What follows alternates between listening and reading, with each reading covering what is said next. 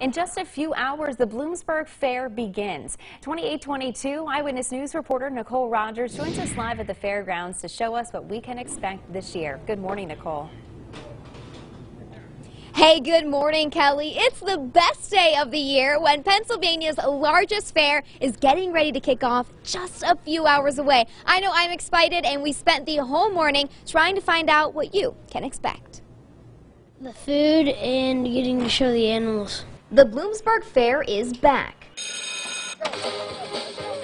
with pig racing and, of course, fair food. The free entertainment changes every year, so you're going to get to see new free entertainment. There's new food vendors on the grounds. Um, every year, somebody new comes in and tries to do things, whether it be macaroni or, or pork or, or meats or cheeses. It, there's just so many things to do around here for the day.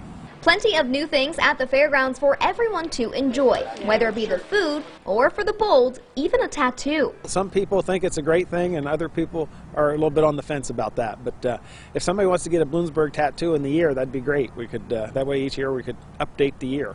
So what do we have here?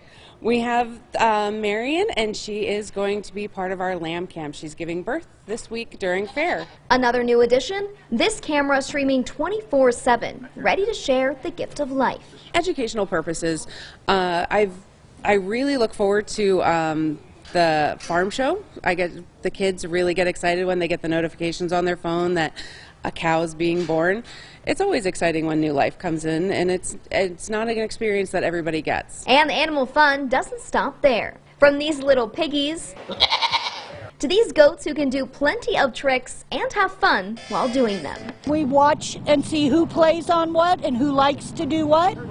They are reinforced with a cookie so that they end up doing what they enjoy doing instead of being forced to do something they really don't want to do. Plenty of fun for the whole family.